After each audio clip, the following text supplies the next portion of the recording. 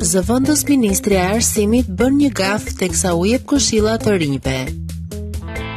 Prej disa kohësh Lorena Haxhiu, e cila dikur ka qenë prezantuese, ka marrë postin e zëvendës ministres së Arsimit.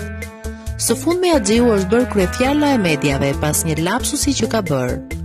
Teksa ishte duke folur në panairin e punës 2019, zëvendës ministrja e Arsimit Lorena Haxhiu është munduar t'u thotë të rinjve një fjalë të urtë shqiptare.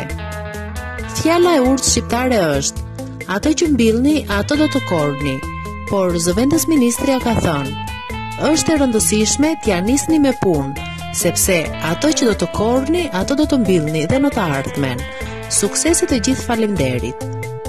Për disa kjo është një gafë e për disa të tjerë ndoshta një lapsus nga shpejtësia.